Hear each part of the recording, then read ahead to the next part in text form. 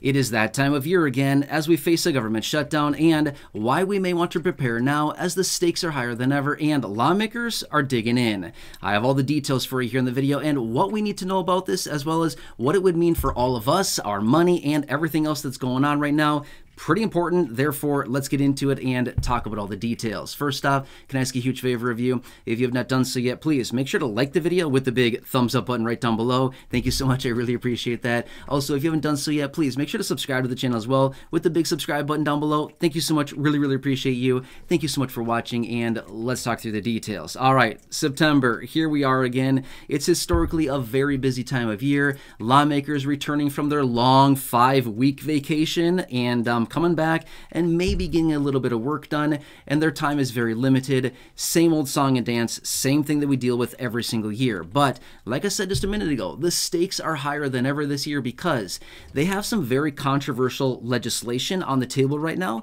It has already been passed through the House, it has gone onto the Senate. Senate has not even touched it yet, but they want to get this thing done, and looks like they are attaching it to the full year fiscal budget, which must be done by basically the end of the day, September 30th.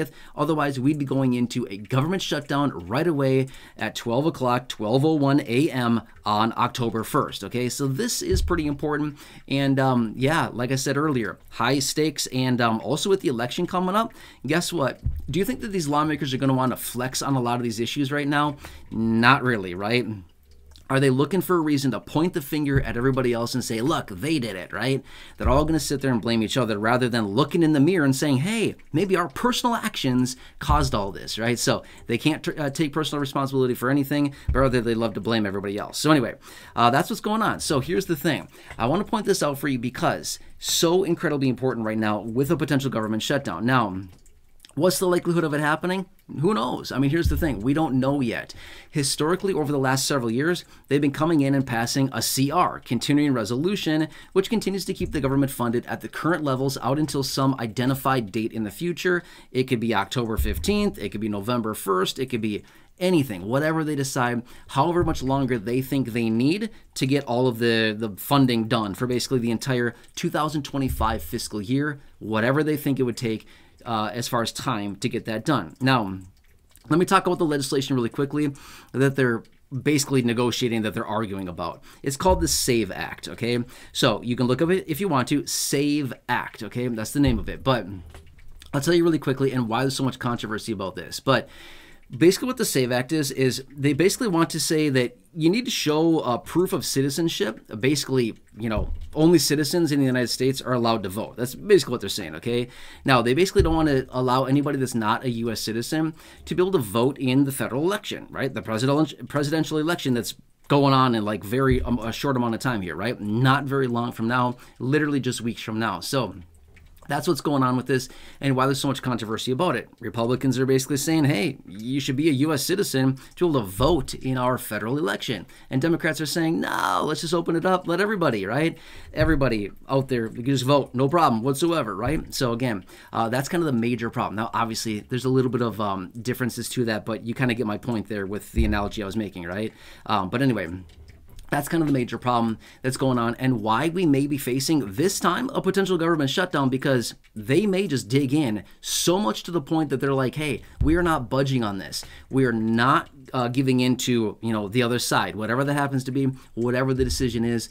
You know, both sides alike saying we're not we're not giving into this. Okay, that's why it's such a big deal here. Now, if we go into a government shutdown, would that be the end of the world? Would that be such a big deal in the whole world? Well, it depends on how you look at it, right? Some services would be impacted. Now, again, I want to point this out really quickly. I know a lot of you here in the community receive fixed income benefits like Social Security, SSDI, Survivor, Spousal, SSI, VA benefits, SNAP benefits, uh, Supplemental Nutrition Assistance Program, these kind of benefits. I get this question all the time. Not this year yet. I have not gotten this question yet that I've seen anyway. But in previous years, I get this question all the time, which comes in and says, "Hey, super worried about my SSDI. Hey, I'm super worried about my SSI. I'm, re- you know, I'm worried about my, my retirement benefit. Is that going to be impacted? Is it going to be ending as a result of a government shutdown?" The answer is no. Not not not whatsoever. No, zero, nada. Whatever you want me to say, okay? no, it's not going to impact your benefit check whatsoever. It'll not have any impact at all on your Social Security benefit. Reason being is this, okay? Now, there's a law out there. Um, I talked about it actually last year. I talked about this a couple times because I had a lot of people coming in saying like, "Hey, I'm super super worried about this." There's a law that suggests that if the government shuts down, if we default, whatever it happens to be, they still have the obligation to send out some of their essential payments, and Social Security happens to be on that list. Okay, so they have to continue doing some things, even in the event of a government shutdown, or even in the event of a default. Like remember a couple or what was it like a year and a half ago or so when we were going through this whole uh, debt ceiling issue and stuff like that. Remember that whole thing? They have the obligation and they must continue making payments like Social Security and all of these federal benefits. They must continue to do that even in the event of a government shutdown and in the event of a default. My point is, don't worry about it. Your federal benefits, your fixed income benefit, whatever it happens to be, you're fine. Don't worry about it whatsoever, okay? Um, but anyway, would it disrupt other services? Yeah, absolutely it will, right? It depends. So here's the thing if the government shuts down for like an hour, two hours, five days, is it really going to impact us? Probably not really. For the most part, not that much, right? I would say like very minimally. If it closes down for a week or two weeks or three weeks or a month, is that going to impact us? Yeah, every day that goes on is going to impact a little bit more and a little bit more and a little bit more, right? Uh, but at the end of the day, I would anticipate this. They always come in and they have these, you know, stiff negotiations and we're holding our ground and we're digging in and we're not moving, we're not budging.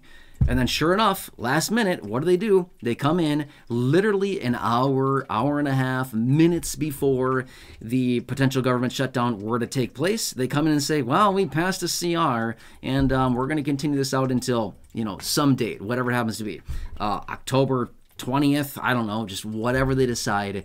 Uh, they push it out, you know, probably not November, uh, October 20th. Usually they do like mid November-ish time gives them about a month and a half or so uh, is what they historically do and then they come back and they you know do nothing for basically the next month and a half and then they say oh quick do something and then they do nothing again and they you know they do this whole game for like three months. They do it all the time right? So anyway i would anticipate that's to happen again but could we see a shutdown? Sure absolutely. There's no uh, rule that says we can't shut the government down. 100% we can shut it down right? They can and they might. We don't know. And again considering such a pivotal time of year right now i don't know. I mean it's going to be weird okay because they need to have this legislation passed literally about what five weeks before the presidential election that puts a lot of things at stake, right? I mean, a lot of people can either gain a lot of momentum or lose face in the event of passing a, a new federal, you know, budget for the entire uh, 2025 fiscal year if they pass something that was not uh, beneficial to the people or you know people didn't agree with i mean they could lose a lot of momentum uh, going into the election with that. Again i'm not saying either side in particular. I'm just saying anybody. Doesn't matter who it is. Both sides are kind of at stake here. So i don't know. I kind of feel like they're probably not going to do anything too nuts, anything too crazy with this because there's way too much at stake here, right? If anything, they might just continue to push out uh, continuing resolutions or at least maybe just one beyond the election, see how the whole thing shakes out, and then come back and be like, all right, okay, let's negotiate this sucker out, right? So I don't know, but um, this is what we're facing yet again. Same thing happens every September. And we don't know. We won't know until, you know, a few weeks go by here and uh, we get right up to the timeline uh, they usually wait until the very last minute, by the way. So I would not be shocked one bit at all if we see something passed, as in like a continuing resolution to continue to keep the government funded, like literally on September 30th at like 10:30 p.m. Seriously, that's what they do, okay? And then the president will roll out of bed and he'll come out and wow what am i doing? Ah where am i? Right? And he'll try to figure out how to sign it uh, you know like 11.30 p.m something like that. Okay? So sorry. I know i'm being kind of mean here but that's kind of the reality of the situation.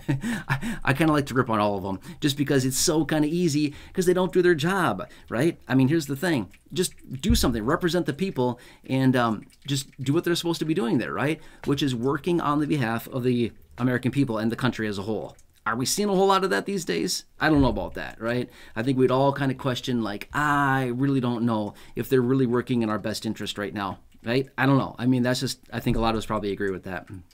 So, anyway, hope this helps you again. If you're receiving fixed income benefits, don't worry about it. You're fine, okay? Uh, shut down or not, you'll be fine. Okay, we could shut down the government for five months. You'll be fine. It's not going to impact your benefit whatsoever. You'll be totally fine. Make sense? Anyway, hope this helps you. Again, please subscribe down below. Like the video. Big thumbs up. Thank you so much. Really appreciate it. I'll be here for you every single day, bringing uh, bringing you the details, talking about it, uh, breaking it all down, discussing anything for you, ripping on lawmakers. Why not? I'll do it for you. Okay. anyway, it's easy pickings, right? Uh, so anyway, enjoy your day. Again, please subscribe, like the video, check out the other videos here on the channel. The 5,000 or so videos here on the video library which by the way, I've hand selected some very popular videos for you down below in the description of the top of the comment section. Check out those videos as well. Otherwise, right now showing up on your screen as well, you'll see some videos. Check out those, and thanks so much. See you again in just a minute.